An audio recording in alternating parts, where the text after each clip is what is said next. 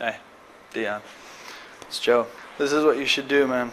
You should take this video camera and you should walk around the office or walk around wherever you are, maybe at Globe, and talk to people. And that's all you have to do. Just do that every day of your life until you get tired of it. My first impression was just a stoked Grom. He was uh, wide-eyed and bushy-tailed, just pumped to to be around it. I mean, uh, he was videoing and and kind of seemed like to me that he was where he wanted to be.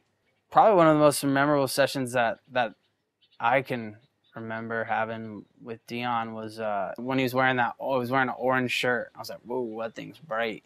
It was like a little left wedge, you know, and uh, he was just busting all these airs. So I was like, "All right, yeah, I gotta try to do the same thing." Yeah, while we were finishing that movie Secret Machine, he was actually in Bali. And I remember the guys from Globe in Australia were saying, Hey, Dion just like went crazy in Bali. He's like, you know, got some of the best like aerial surfing that's ever been shot, blah blah blah blah blah. We had shot a little bit with him. Actually we had a day in Deba that was um unreal. He went crazy. There was these fun little ramps coming off like the little near side wall of Deba and, and Dion was just going crazy. So that was kind of like whoa, he's in the movie. But uh, actually, when we saw the clips, we were like, wow, we have to use it. We ended up using his stuff for the closer of the whole movie because it was so unbelievable. So the last year of the juniors was when I like really focused and kind of gave it a shot. I ended up getting third. Like, the few years before, I kind of did shit, and then for whatever reason, it all came together in that last year. Then I went straight into the QS and just got so fucking hammered. he kind of was surfing a bit different to what the criteria was at the time. You know, he was like racing a lot of waves and just trying big punts and just one maneuver. You know, when the QS back then was like snap, snap, cut back, floater, fucking throw your hands up, get it all grooving. And Dion kind of wasn't that surfer. You know, he wasn't really that aggressive in the water. he was just like, "This is not me. Like I can't swallow this pill." You know, Yeah, I remember we had a meeting actually at Globe in Australia about it where basically we were doing that thing that's done a lot now, but it was let's have a talk about whether or not you should be trying to be on the world tour. Dion didn't feel like that was the right place for him, and Globe was a company that traditionally like that's what you did, but it came at this perfect time, you know, where Dion we had we literally had a meeting with um, Steve Douglas who runs uh, he was running marketing in, Australia at the time. I'd been thinking about like a drive through, but on the internet and kind of shorter, like little videos or whatever. And and he goes, "Look, I've got this idea. Bear with me." And he spat back the exact same idea. Just said, "Look, we don't want you doing contests. Like, fuck that. We want you just to free surf." So for him to give me that freedom was huge for me, especially at that age. And um, Barron had just got back from overseas, and we came up with this grand plan. And so when I moved back to home, he kind of took me under his wing and was like, "You just move in with me. It's sweet, like whatever." And I didn't have a job, so we started talking about doing this, um, doing the blog, and he'd never filmed a day in his life.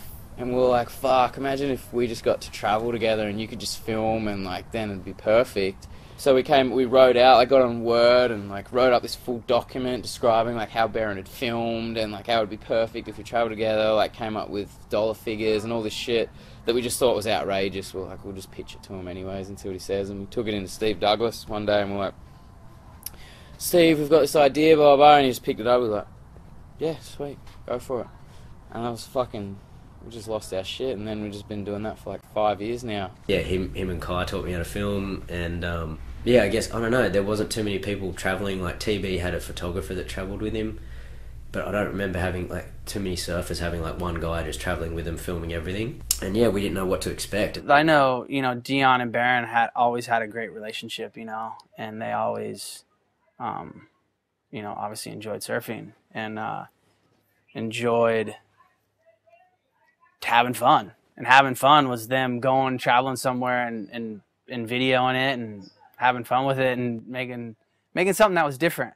I thought Dion is a pro surfer. He's not gonna fucking spend the time and do this. It's gonna go for like six months, and then he's gonna get tired of it. It's not gonna happen. You know, mm-hmm. honestly, that's what I thought. But you know, every time he put something up, I was like, wow. He put up another crazy little edit. I mean, it was consistent.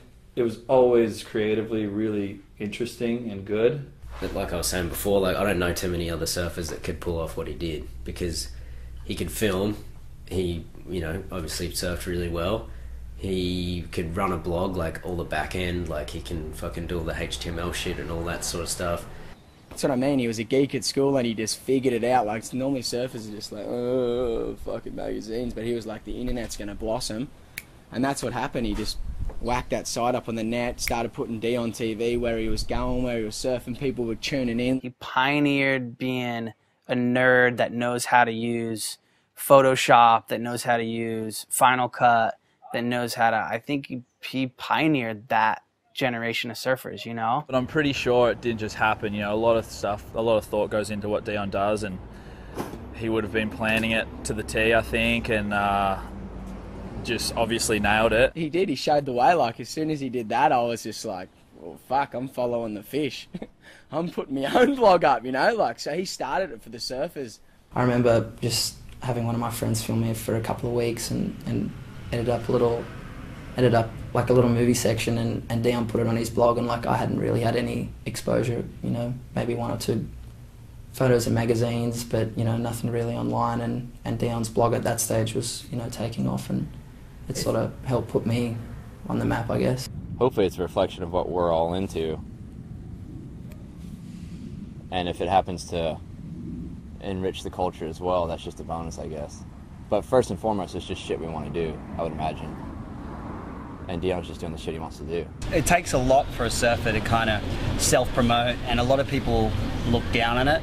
But I think it was Luke Stedman that gave him the first bit of advice when he was talking about his blog, and he was like, "What do you think?" Because he Dion's not the type of guy to self promote himself, and and Stez was like, "Dude, if, if you don't promote yourself, who else is going to?" And I think that kind of sat in the back of his mind for a while, and got the wheels turning for him to actually show some initiative and working on his own films and make sure he's linking up with the right people and launching his website, which was which was huge. And I think Dion surprised a lot of people because we basically had a surfer who's also a filmmaker making little pieces for the web for us, and that's why it was so successful. You know? Yeah, it's funny. I was actually just talking today about how crazy like his whole journey has been and how just yeah, what what he does and what he's brung to surfing. I think he's just like a pioneer at what he's done, and it's rad. He's like a personality, not just a surfer. And the reason why kids in Texas or who knows where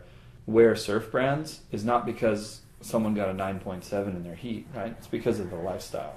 In every generation, there's a person or a few people who really kind of encapsulate that idea, and I think Dion kind of is that guy for us.